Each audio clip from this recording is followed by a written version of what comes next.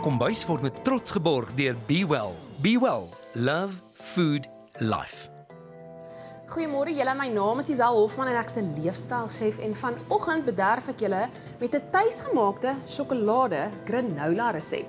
Nou hier aan my linkerkant kan julle sien, um, ek het besluit my vrugte vir vandag se mengsel is gedroogde stukkies dadel en ek het ook um, cranberries hier ingesit. Maar ek gaan julle leer hoe om die basis te maak en dan hoe julle dan besluit die vrugte of die gedroogde stukkies vrugte wat julle wil insit, is dan heeltemal jou keuse. Maar ouer gewoonte, kom ons hardloop dan gou deur die bestanddele. Nou vir 'n granola het jy altyd 'n oats nodig. Ek gaan van 'n rolled oats gebruik maak. Hierdie is omtrent so 500 gram. En dan um, ek gaan vandag so 200 gram buckwheat insit. Ek's lief vir hierdie graan. As jy hom in die oond bak, hy bak lekker bros. Um en um, hy's hoog in proteïene En uh ja, dis een van my gunsteling op hierdie stadium. So die jy kan nou vir jouself onthou, dis 500 gram van die oats en dan 200 gram van hierdie graan. As jy nie van hierdie inhou nie, is jy dan meer as welkom om dit met enigiets anders dan ook te vervang. En dan um, ek hou van 'n meetbasis dan natuurlik ook. Hierdie is 'n 100 gram amandelmeetvlokkies wat ek gaan insit. Die rede daarvoor amandels altyd 'n alkalizer, so dit werk my lekker saam saam met die hele oats effek in die oggend. Ons kan dit sommer bysit. En dan natuurlik ons buckwheat soos ek gesê het. En dan saaitjies. Ek is baie lief vir pampoensaad. Jy kan natuurlik van sonneblomsaad ook gebruik maak vir hierdie resep. Gaan jy letterlik so lekker handvol bygooi. En dit is dan natuurlik jou basis. So jy gaan altyd van die grootste hoeveelheid van jou oats gebruik maak en dan omtrent op die 500 gram soos ek sê 200 gram van 'n ander graan van jou keuse. En ehm um, vir my is die amandels dan altyd standaard omdat dit die vlokkie is bak hy so lekker krisp in die oond en dan 'n handjie vol sade. En hierdie gaan jy nou letterlik so vinnig met die hand meng. En maak maar seker jy meng dit vooraf net lekker goed want dit gaan die meng van die sousie wat ons net nou gaan oorsit net soveel makliker maak.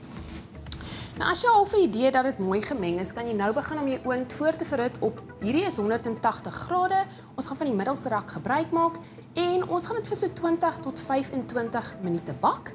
En dan hier in my pannetjie vandag het ons dan nou bakpapier wat ons dan net sommer bo oorgesit het. Nou van die sousie, kom ons praat gou oor die sousie. Ek het hier so 50 gram van die amandelneutbotter in en ons gaan vandag van 2 eetlepels van Bewell se olyfolie gebruik maak. Nou ek hou van olyfolie, is 'n anti-inflammatorie, maar op hierdie resep ek vind hy bak die granola spesifiek lekker bros. Nou jy kan natuurlik sien daar is in die digtheid 'n groot verskil. En dan kan jy slim begin om jou karamelgeurs op by te gooi. Hierdie is dan ook 1 eetlepel.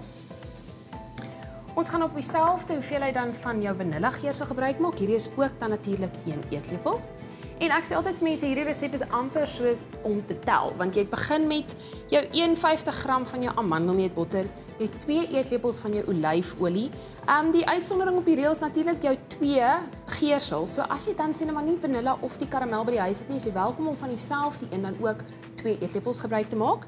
Nou hier is 3 opgehoopte eetlepels kakao.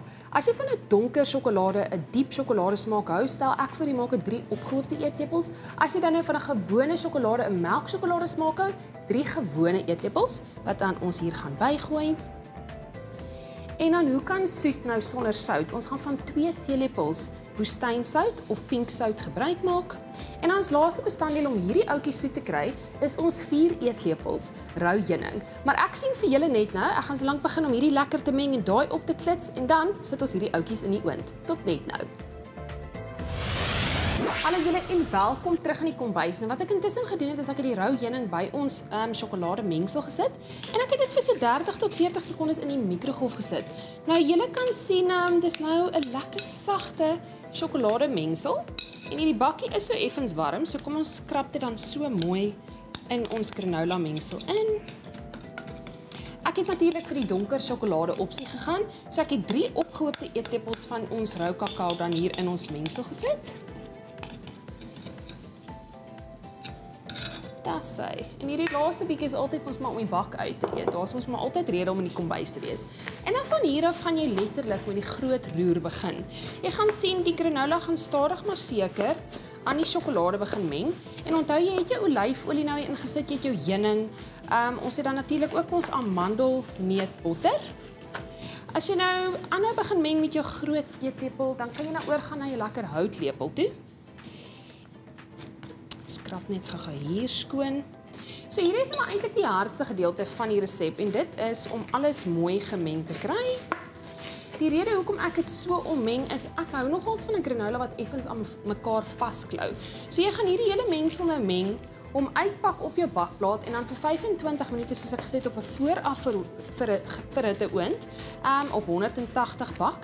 Maar as jy nou van daai kluiterige tipe van 'n granola hou, sodra hierdie dan oorgaan in hierdie bak, dan vat jy nou hierdie houtlepel van jou en jy druk dit mooi egalig plat, want dan dan gaan hy sulke bros stukkies breek teen die tyd wat ons dit dan uithaal. En dit begin stadig maar seker lekker meng hier in ons bak. Maar kom ek verduidelik gou-gou ook vir julle wat hier voor aangaan. So ek het hier my drie gunsteling gedroogde vrugte hier uitgesit. Ons het ons rosientjies, ons het ons rooibosbessies en dan natuurlik ons stukkies gedroogde dadel. Um die rede hoekom ek van daai hou is dit gaan altyd lekker saam met bessievrugte. Maar jy kan dit dan ook nou saam met jou nektarines um voor so dis natuurlik ook in seisoen en baie lekker op die rak heidaglik sien ek ook is jou granate en jou vy. Nou as jy van iemand is wat van jou granola hou saam met 'n jogurt, is hierdie dan natuurlik ideaal.